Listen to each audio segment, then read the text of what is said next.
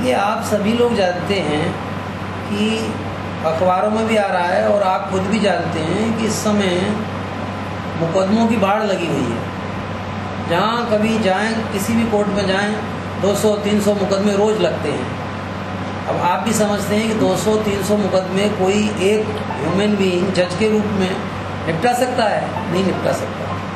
दूसरी बात, अगर निपटा भी सकता है तो उसमें बहुत समय लगता है। तो ये जो लोक अदालत की एक क्रांति, वैकल्पिक उपायों की क्रांति चल पड़ी है, लेकिन बहुत से लोग अभी इससे परिचित नहीं हैं। दूसरे लोगों को कोई भी बात, जैसे आप देखते हैं, भगवान को जगाने के लिए भी लोग घंटा बजाते हैं। घंटा बजाते हैं और तब भगवान सुनता है। इसी तरह जनसाधारण भी है।